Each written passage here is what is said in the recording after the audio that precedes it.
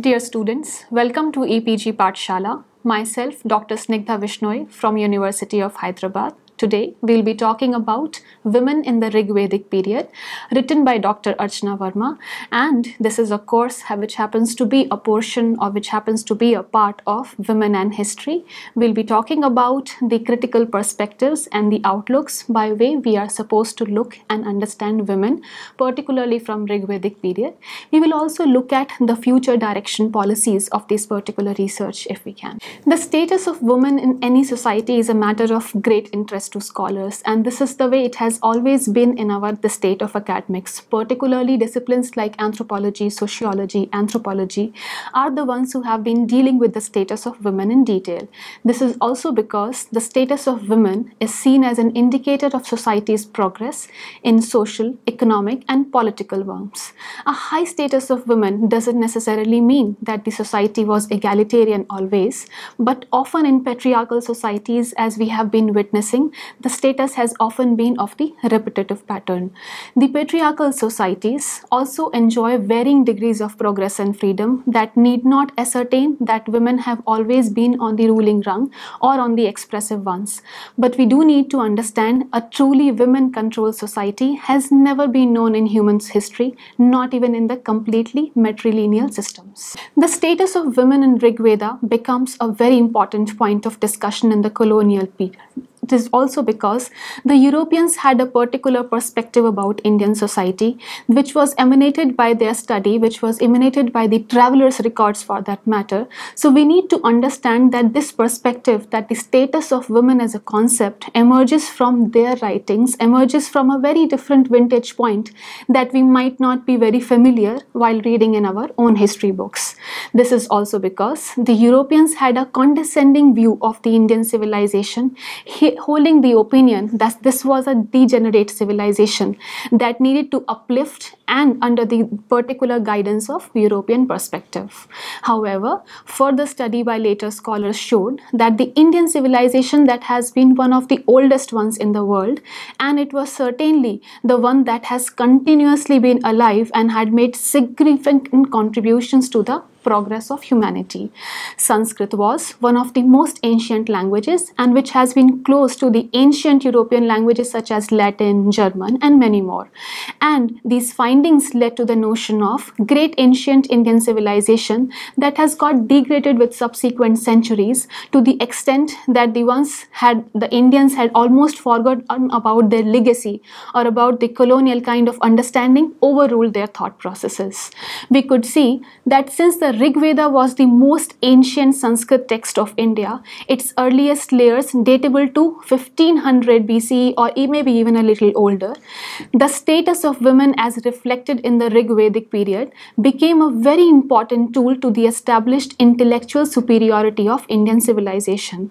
It was also ascertained that the status of women reflected a fair degree of egalitarianism which was even more better than the position of women in ancient Greece और maybe Rome.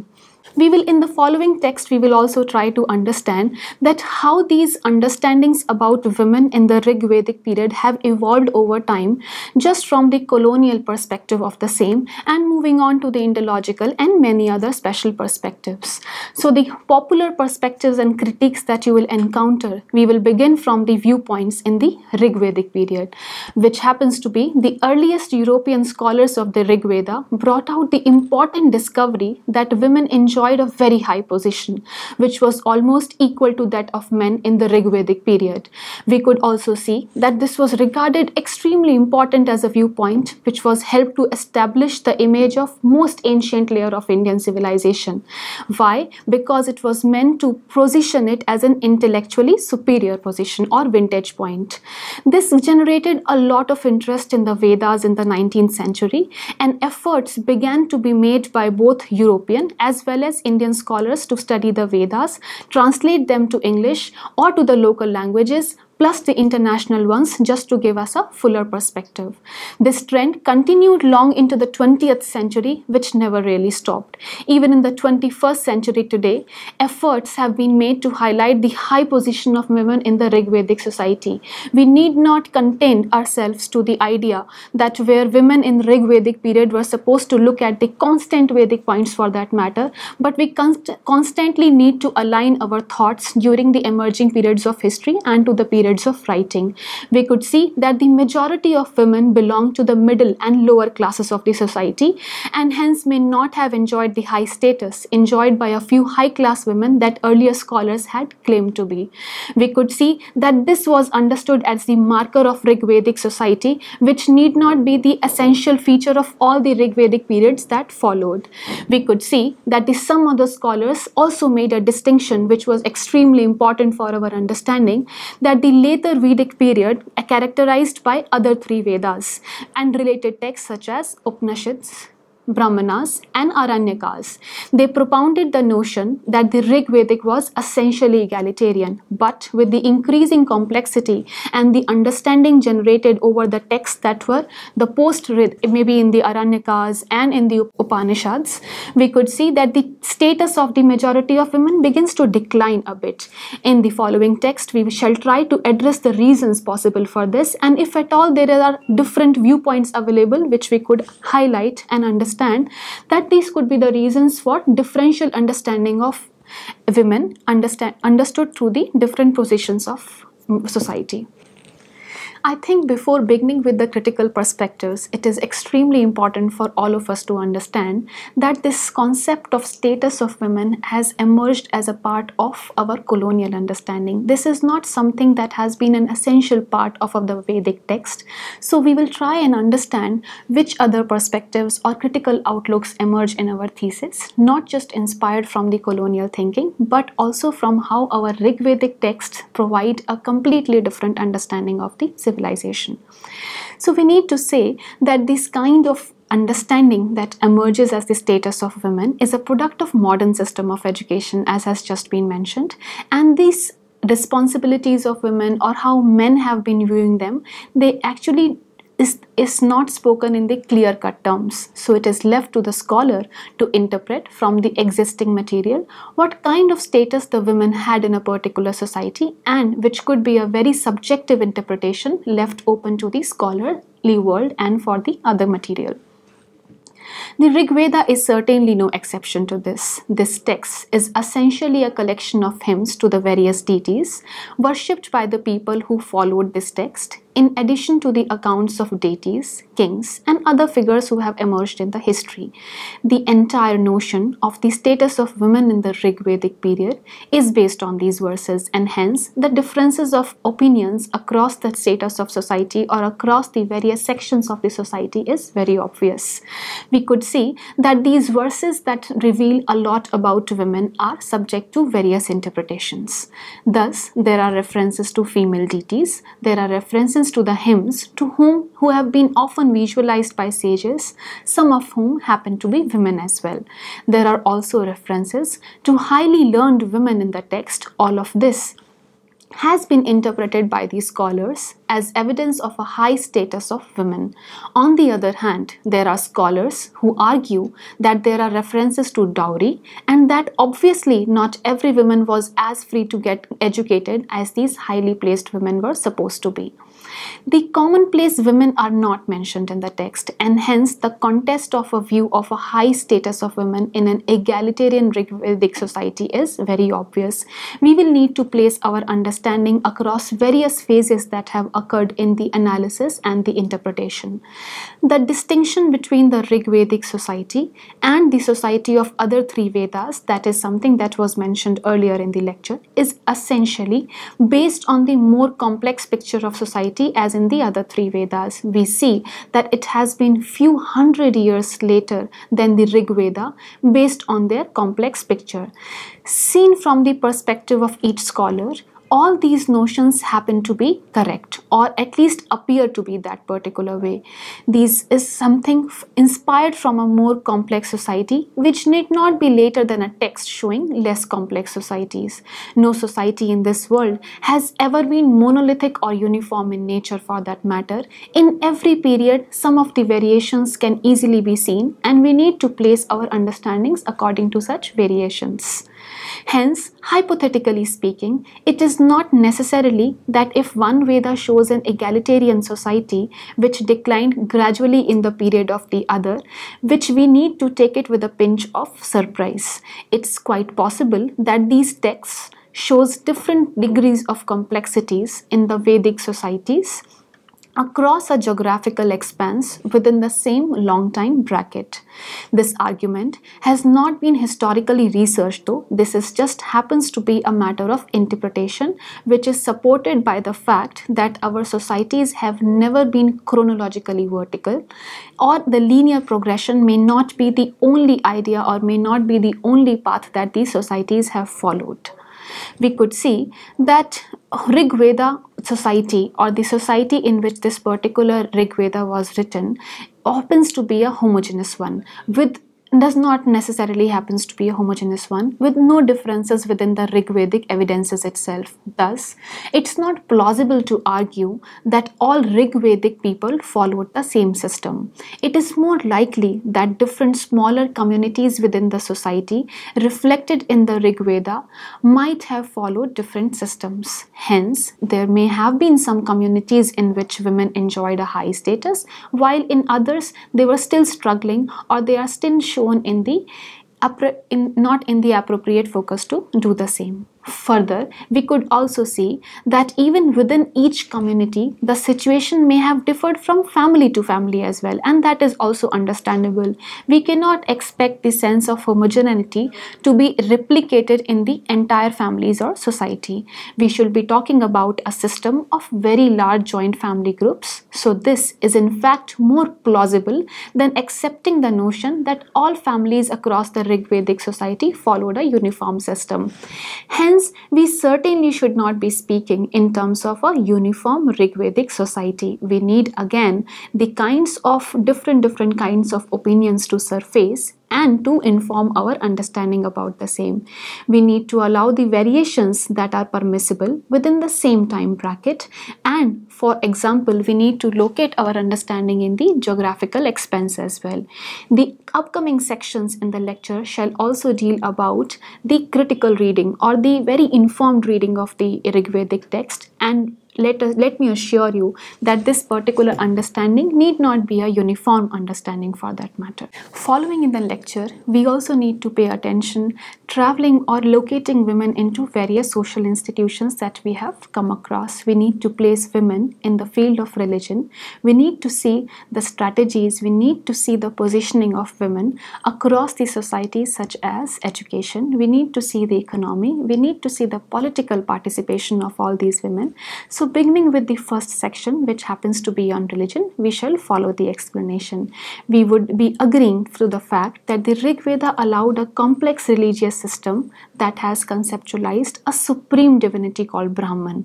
The Nasadiya Suktam in 10.129 section of the Rig Veda talks about the creation of universe by this formless Brahman, this supreme deity often happen to be described as a formless deity and which would neither be a man or nor be a woman.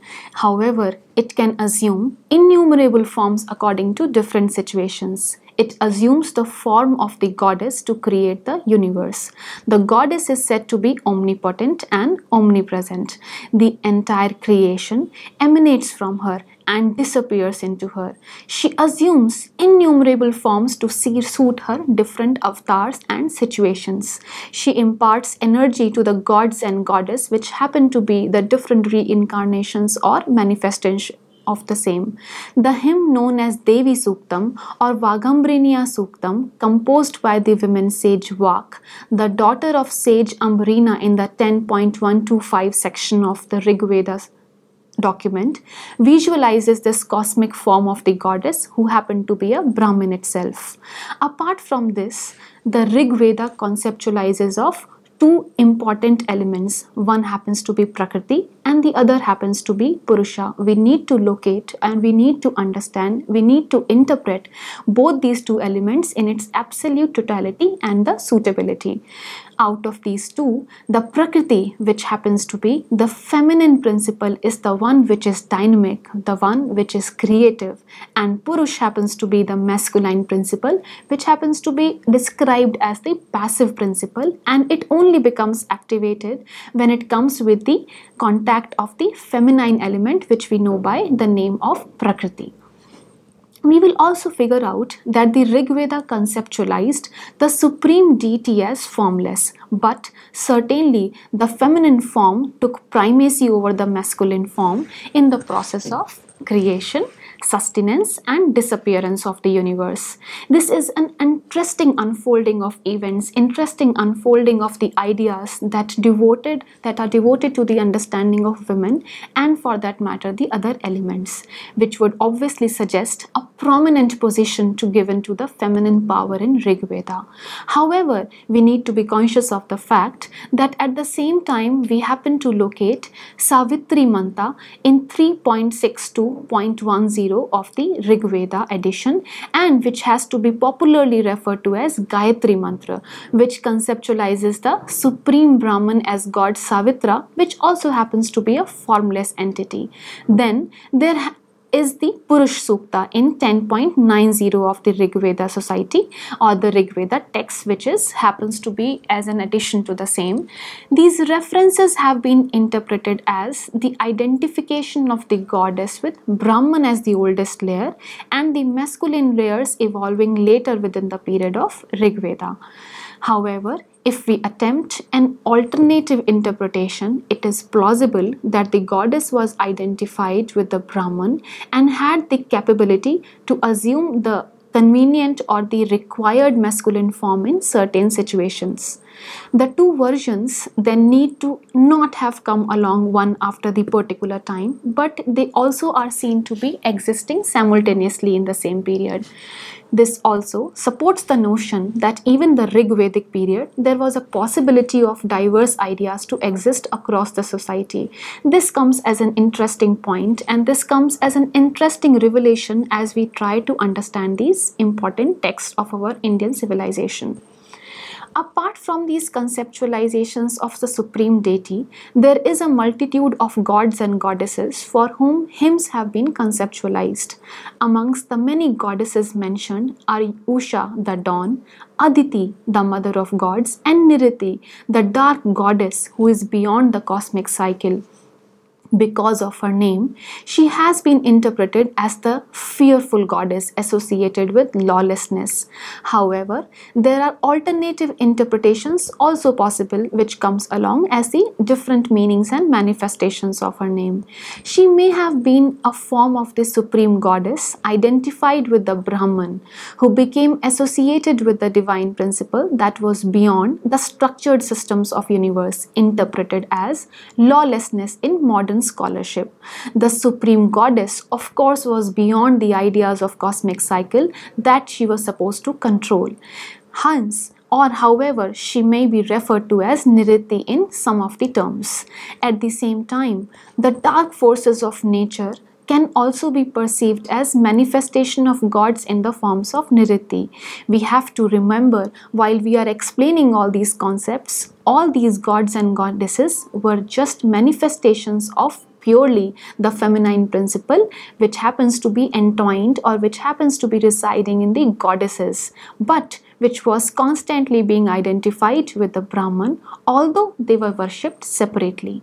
They were supposed to derive their energy and power from the Supreme Goddess, without whose their energy were considered as inert or powerless. This conceptualization of universe is reversed of the conceptualization of the universe which happens to be recorded in the other major religions where God the creator would be a formless entity but would be closely imagined as closer to the likeness of man rather than a woman. Isn't it a contrast to what the understanding what we have always been receiving out of our text or particularly of our society. This happens to be discord or this happens to be understood as a multi layered system where numerous gods and goddesses have arisen from a single formless divinity who primarily assumes the form of the goddess to run the universe.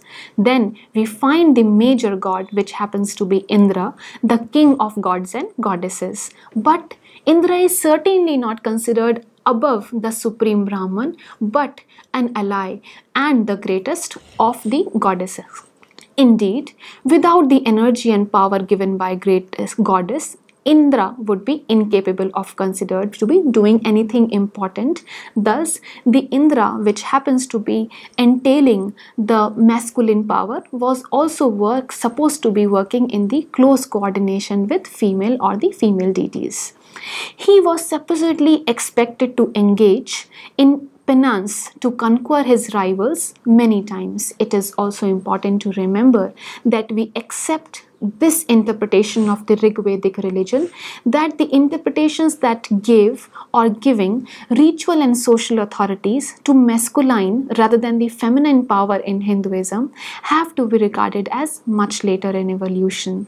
It appears that at some stage the priestly class that worked in tandem with the ruling class attempted to reverse this gender equation according to their state of conveniences. They obviously wanted to invite all of us to a kind of narrative that proclaimed the priority of the nari or of the feminine principle over the opposite principle that happens to be the masculine one. We need to understand that at some stage the priestly class that worked in attempted to reverse this gender equation in reality particularly with respect to the rituals as well as the social structure forms, they began to assign the subordinate status overtly over the period of time to the feminine principle and therefore to the women. However, this development was post Vedic in history. So, here we complete the idea or the understanding of women based across the religious documents or the religious institution, but the more important institutions, not necessarily in the order of preference, but in the range of institutions that are available to us. So we need to understand women and to their and their particular prescriptions and their picturization across the vedic text in the other institutions as well. I am sure by now you would know that it has to be women's education marriage as well as the social rights that women entailed in order to understand and in order to make their presence felt in the society not necessarily everything was happening as a matter of priority or as a matter of prescription, but there were certain routes that we could follow accordingly. There are verses in the Rig Veda coming on to the understanding of women and their several institutions, we would talk about the necessity of a woman to get well educated before she gets married. Husband would often request his wife to give the discourse of knowledge to her in-laws family it was also mentioned that a well educated girl should be married to a suitable groom of equal knowledge and as well as equal social standing. There are no verses suggesting child marriage, but the sati or the practice of widow birthing is also somewhere which is nowhere referred to. But there are important references to the customs that all of us would be familiar watching through our religious programs, rituals, as well as the text that would be Swamvara. The references to Swamvara in which the girl chooses her own husband amongst many suitors. The practice of samana is referred to where girls went to attend fairs and festivals and they also happen to be choosing their own genitors in the process. Gandharva Vivah or marriage by couples who chose each other by falling in love used to be a legitimate practice accepted in that particular society. There used to be many women sages who visualized verses of Rig Veda and were called Brahma Vadinis. Apala, Ghosha, etc. are these famous scholars who have visualized Vedic verses. Gargi and Maitreyi were these famous Vedic scholars who have often engaged in debates and defeated men in these debates. Women could get married at a later age as well, which was something that was accepted in the society, and they were also supposed to participate in the law giving process, which happens to be a surprise in how we have encountered women and their description, or particularly in the contemporary society. wife is said to share equally the rights of her household along with her husband. She is the mistress of her household. They are or they were said to be the equal partners in the marriage if we conform to our understanding of Vedas.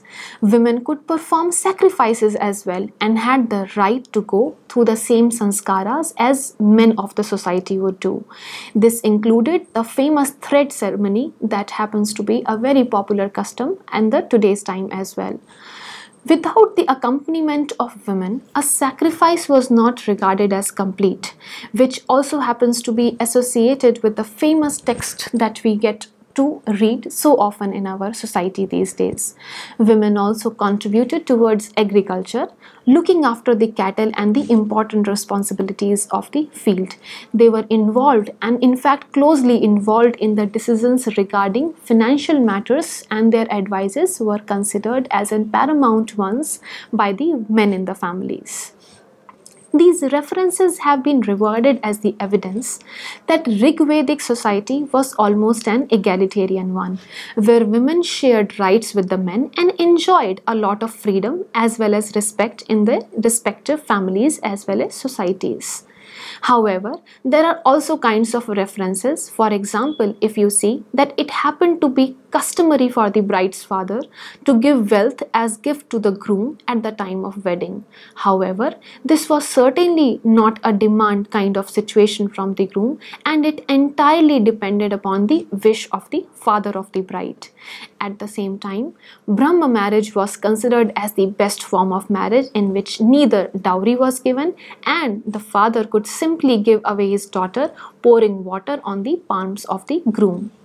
Another form of marriage which is known to us by the name of Arsha marriage. It's also something which happens to be a popular and the one of the most recommended marriages of the period where the groom paid dowry to the bride because he was lesser in education and social status than the bride.